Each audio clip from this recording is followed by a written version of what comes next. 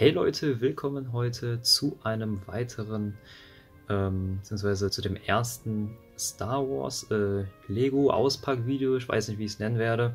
Ja, wir haben hier ein ähm, 104. Wolfsrudel-Soldaten von ähm, ne, ein anderes Bataillon von Commander Wolf. Und ähm, da habe ich mir ein Set geholt mit 20 ähm, Klonen drauf, äh, also mit dabei, und äh, Commander Wolf zusammen, also halt 21. Und den packen wir heute zusammen aus. Ähm, ich nehme jetzt mit der äh, mit meinem richtigen Mikrofon auf und mit der Kamera. Ich hoffe, dass ich das hier richtig mache so. Genau, und den packen wir halt heute mal aus, extra fürs Video. Habe ich ähm, eins offen gelassen, das heißt, wir haben nur einen Versuch.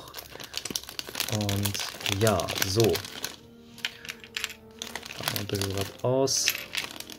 Also quasi Wolfs, Wolfsrudel Clone Trooper. Kopf ist schon drauf, Füße auch. Kippen das einfach mal alles hier aus. Der extra eine Lego-Platte gemacht mit so einem kleinen Baum-Hintergrund. Mehr habe ich leider nicht. Und ähm, ja, so, was haben wir erstmal eine Platte, wo man halt was aufstellen kann. Ne?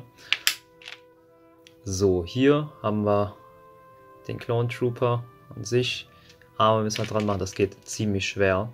Das weiß ich noch. So, einmal das dran. Ich hoffe, dass auch vom Lichtverhältnis alles klar geht. Ich habe da extra eine Lampe aufgestellt, damit man alles vernünftig sieht. Schatten, okay. Also, da ist es hingeflogen. So, ähm, man sieht halt, das geht ziemlich schwer rein. Also es ist anders als bei Lego, muss man sagen. Ist alles ein bisschen fester. So, ich muss das mal kurz out of Kamera machen mit den Armen. Ähm, weil sonst haue ich hier noch die Sachen weg. So, da haben wir sie, die Figur. Erstmal ohne Helm, ohne Waffe. Ähm, man sieht halt schon einen kleinen Fehler. Und zwar alle, ähm, ne, alle 20 Figuren sehen halt genauso aus. Ne? Das ist halt so ganz cool für Stop Motion, wenn man halt, ähm, wenn man halt einen Film machen möchte mit Lego oder so und dann eine gute Sammlung haben möchte, kann man halt ähm, das da kaufen. Das hat halt, oh, wie viel hat es gekostet? 15 bis 20 Euro, es kommt immer ganz drauf an. Ähm, manchmal gibt es halt Angebote. Das habe ich ganz einfach auf Ebay gefunden. Und ähm, hier fokussiert es nochmal. Also hier seht ihr, das ist die Figur, aber einen Fehler gibt es und zwar, das ist halt nicht Commander Wolf, das ist ein ganz normaler Clone Trooper und die haben alle, die haben alle dieses Wolfsgesicht, da, da haben wir es. Die haben alle dieses ähm, Wolfsgesicht, also Wolfsgesicht, äh, indem sie das äh, blinde Auge haben, ne? beziehungsweise das Robo-Auge mit dem Cut hier drin. Und ich denke mal einfach, diese Firma hat halt nicht so viel Plan von ähm, Star Wars und der Geschichte und so weiter. Deswegen haben sie dann einfach Figuren erstellt so. Und ähm, ja, ne, haben halt wahrscheinlich nicht so viel Plan davon gehabt und deswegen haben sie dann da überall den Wolf-Kopf quasi drauf gemacht. Und lustigerweise bei Wolf selber haben die einen ganz normalen Kopf dabei gemacht. Ne? Auch ziemlich interessant. So. Hier haben wir die Figur. Waffe. Kann man halt hier noch drauf packen, das Teil. Helm. Zack. Und hier die Waffe, wie ihr auch erkennt, ist halt die Waffe von Mandalorian, ne, von dem Mandalorian, die ähm, Sniper ne, von Din. Und die hat halt auch quasi jeder. Aber an sich eine ziemlich coole Figur, wenn man so sieht. Helm gefällt mir mega, Design ist echt cool. Natürlich halt ein bisschen doof, dass jetzt jeder wirklich diesen Kopf hat, aber ist jetzt an sich auch nicht so schlimm. Und für 15 bis 20 Euro für 21 Figuren ist das ziemlich preiswert für Star Wars. Also bei Lego wird man da schon viel mehr ausgeben und es ist halt praktisch unmöglich. Ähm, ne? Erstmal gibt es halt diese ähm, Auflage nicht, also es gibt keine Phase 2 Helm in Lego.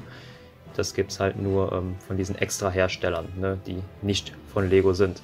So, dann zeige ich euch halt noch äh, Commander Wolf. Ihr seht, hat er einen Phase 1 Helm. Also quasi deine Soldaten haben Phase 2 er hat Phase 1 und das ist halt so, 21 Soldaten, die zeige ich euch mal sofort. So, es sind jetzt nicht alle Figuren drauf, aber es sind jetzt nicht alle Figuren drauf, aber hier haben wir halt die meisten. So, und ähm, ja, es sind ziemlich, ziemlich cool halt so mit den Figuren. Also es sind insgesamt, wie gesagt, 20.